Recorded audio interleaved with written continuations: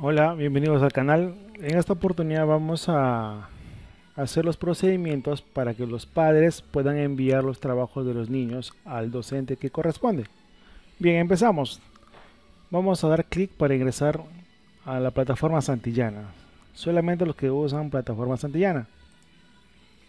Damos clic acá y nos va a pedir un usuario y una contraseña, el cual ya sabemos en dónde está. Copiamos pegamos, copiamos y pegamos. Conectarme. Bien. Eh, la página está cargando y mientras va cargando nosotros eh, ya tenemos el trabajo listo ubicado en una carpeta dentro de tu computador. Ya sabes quién es el docente de tu, de tu niño, tu niña, lo que tiene que hacer en este caso es hacer lo siguiente. Irte a mis mensajes. Damos clic ahí.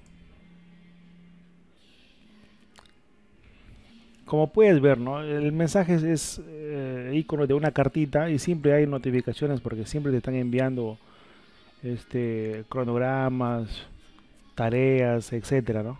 Ahora, una vez estando en esta interfaz, lo que tienes que hacer es ir dar clic en redactar. Lo podemos encontrar al lado izquierdo. Redactar. Le damos clic y nos va a abrir una interfaz para seleccionar a quién vamos a enviar. Bien, seleccionar, ¿no? Seleccionamos, clic, y nos vamos donde están los profesores. ¿Correcto? Profesores.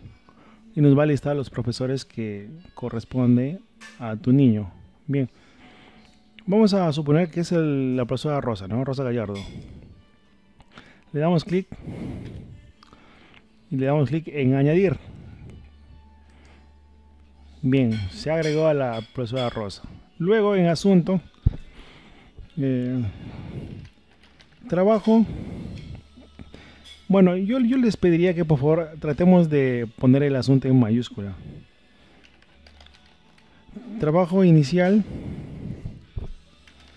clase digamos este 2805 no día 28 mes 5 vamos a suponer que lleva como nombre el ciclo del agua.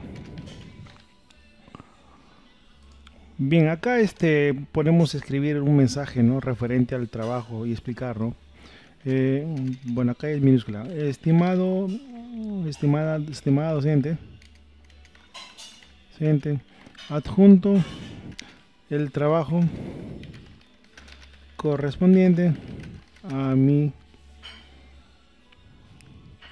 menor hijo. Menor hijo, Esperando cubrir cubrir con la necesidad, no, cubrir con las expectativas del tema. Agradezco su, su atención. Atentamente, papá o mamá de Adrianito, por ejemplo, ¿no? Una vez que ya estás ahí, tienes que adjuntar el documento, ya sea foto, ya sea un archivo Word, ya sea, hay muchos tipos de archivos que vamos a adjuntar. Bien, procedemos a dar clic en examinar y nos va a abrir una interfaz, ¿no? La interfaz es esta. Vamos a hacerlo un poquito más grande para que se adapte a la pantalla. Y entre todos estos archivos buscamos el que corresponde, trabajos, este. Le damos clic. Vaya, mira, me está cargando. Archivo cargado correctamente. Perfecto. Ahora lo que tenemos que hacer es enviar el, el mensaje. Le damos clic, ¿no?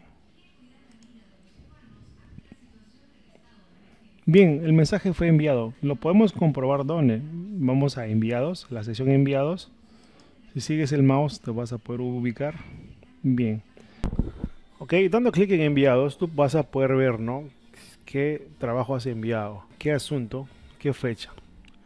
Bien, este es el procedimiento que se debe seguir para enviar los trabajos de nuestros niños a los docentes.